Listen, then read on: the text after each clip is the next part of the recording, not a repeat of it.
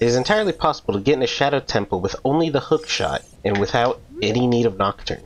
What you want to do is get over here near Dampe's hut. Make sure that hook shot is in your hand by pulling it out. Then you get in this corner over here, target this fence, then turn 90 degrees right. And then what you want to do is side hop right and then immediately click A to roll and hold up as well, and you will bonk. And as you're bonking, you want to spam the hookshot button. This is much easier to do with Hylian Shield, by the way. I'll explain why in a moment.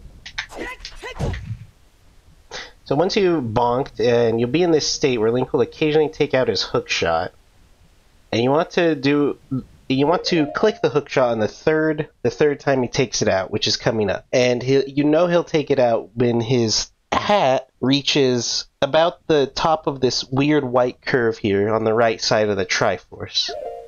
So you want to click hookshot then. Like that. And then what you do is when you're at the peak of your jump, you start holding down, and you will end up up here. The next step of this is to walk over here and spawn this ghost, and then get Navi ISG off of it. Like that. This will prevent you from falling off, which is very easy. Now you just want to stay near the top here. And then you can walk along the seams. Try not to get stuck. It's very possible to get stuck. Oh shit, like that. I'm now stuck. Good thing I did a save state. But yeah, you can get stuck real easily. So try not to get stuck.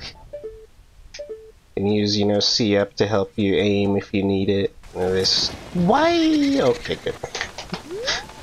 okay, good. And then you just keep walking along until you reach about this point, of course, where the stairs are.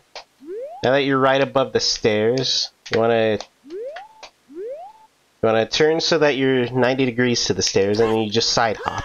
And you'll side hop over the loading zone for this area, which won't load in the door, so you can just get in. You never need Din's Fire, and you never even need a Nocturne of Shadow. Subscribe for more glitch tutorials and tips.